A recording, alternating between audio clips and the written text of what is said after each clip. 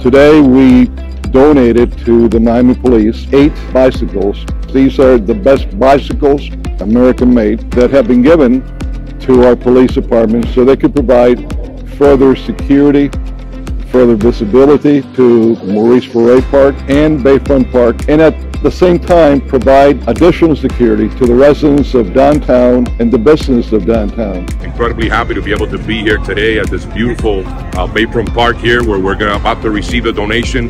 American-made ruggerized bikes. They're the top of the line and our bike officers are going to receive this donation which continue to make not only Miami but downtown specifically one of the safest areas in our city. We decided uh, to embark on this endeavor of donating the eight bicycles based on input that we got from our local commander and something that would help increase the police's presence both in the parks and in the surrounding areas. We're going to be patrolling to make sure we're safe for the citizens who live across the street.